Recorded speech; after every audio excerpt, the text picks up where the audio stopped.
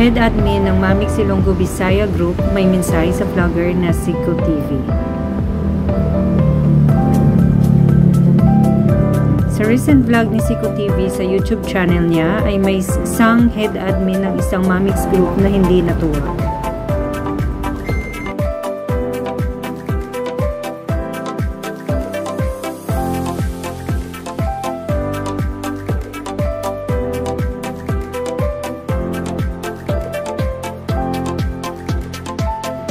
Naturang vlog ay ukol sa mga sagutan ng mga group leaders or admin at members ng iba't ibang Mamix group sa comment section sa FB post ng isang vlogger at mix defender na si BPM. Head admin ng Ilonggo Bisaya Group na si Ma'am Melanie ang hindi natuwa dahil na-post ang FB account name niya sa video samantalang yung comment ng iba ay wala namang pangalan.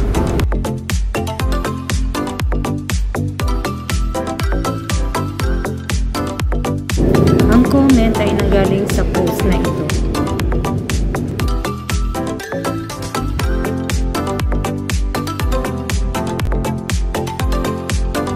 Pakinggan po natin ang audio clip ni Ma'am Melanie, Head Admin ng Mamis Ilonggo Visaya Group.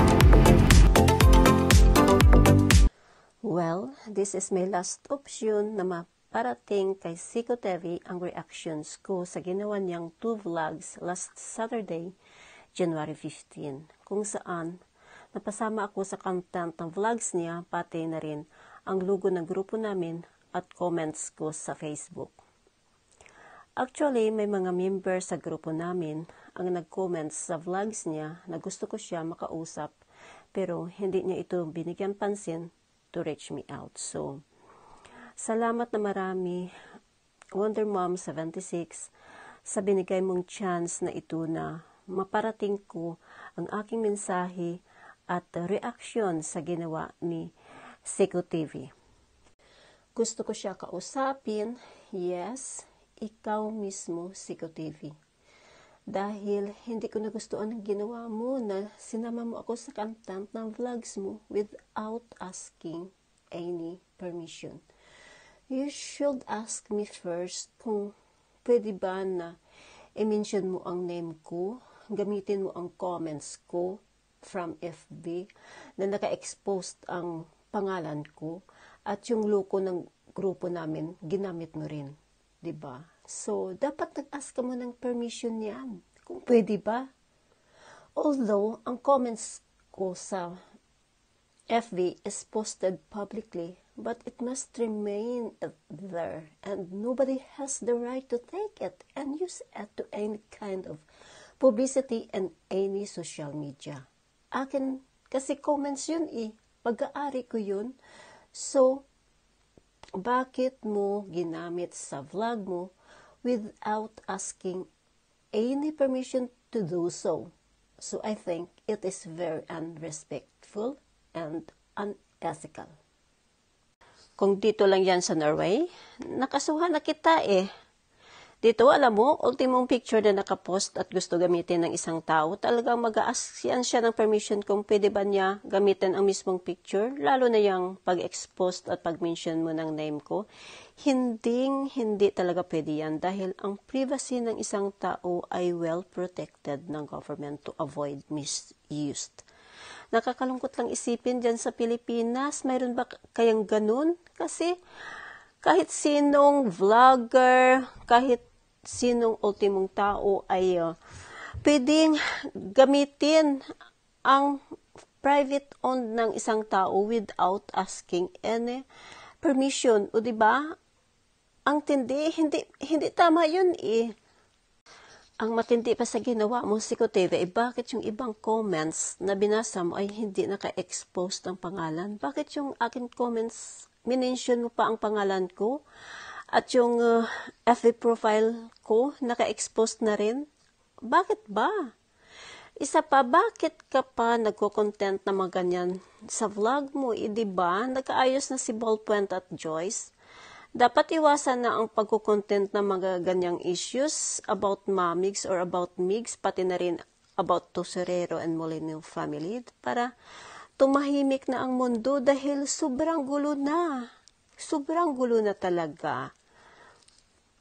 Kung may personal issue ako kay Joyce, it is between me and Joyce only.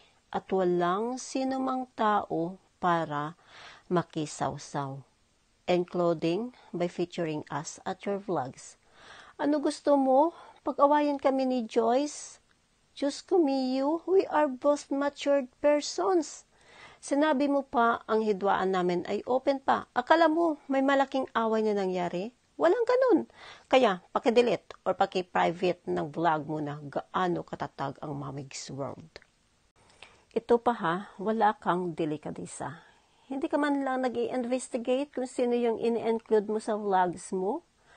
I am a very private person. Ayoko ng publicity. May mga anak ako, family, relatives, friends na magre-react ng hindi maganda pag napanood ang vlogs mo na iyan. Magtatanong ang mga iyon kung anong nonsense things ang inaatupag ko. Sa tanda kong ito, isama mo sa vlogs mo na walang permission, it is unacceptable. Ano sa palagay mo, maganda ba yan na binigyan mo ako ng stress? Talaga na stress ako eh hindi ako natutuwa. Tapos hindi ka pa nagre-reach out sa akin kahit alam mo na hinahagilap kita. Saan ang respeto mo? Mayroon ka ba niyan? Basta lang maka-vlog, hindi mo iniisip kung ethical correct ba yung content ng vlog mo. Maka-content ka lang, wagas, hindi tama or acceptable yung pag-mention mo ng name ko, pag-include mo ng comments ko sa FB, ang pag-expose mo ng FB profile ko, at pati na rin ang logo ng grupo namin without any permission. Kaya I am demanding to you, Siko TV, delete your vlogs or make it private para happy tayo. Pag hindi mo yan ginawa, ay nako, talaga gagawa ako ng campaign to boycott or report your YT channel. Gusto mo yun? Hindi ako nananakot. Ang sa akin lang, kung may respeto ka sa isang tao na katulad ko, so, delete your vlogs or set it on private. So, ano? Okay lang ba sa'yo? Sana okay lang sa'yo, ha? At uh, please lang, magrespeto ka lang, magres, mag, magkaroon lang tayo ng respeto sa bawat isa para happy, happy lang tayo, di ba? So, yun lang ang gusto ko maparating kay Seco TV.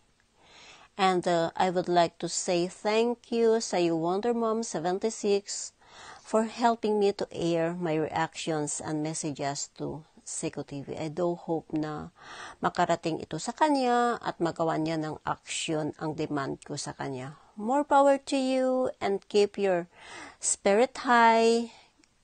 God bless you always and thank you so much.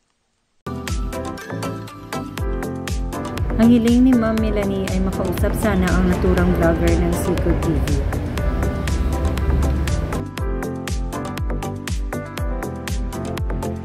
At kung maaari po sana ay huwag nang palakihin ang issues sa di pagkakaintindihan ng mga naturang mga group leaders at hayaan nating i-resolve nila personal na issues nila.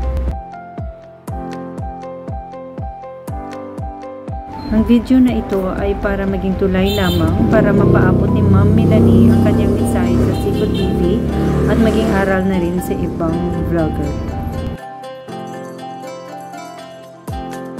Naway magkaisa na po mga mamig supporters at magsuportahan na lang po sa pag-support sa naiwang katandem ng ating cutie mahal na si Bunso Mix Mugini.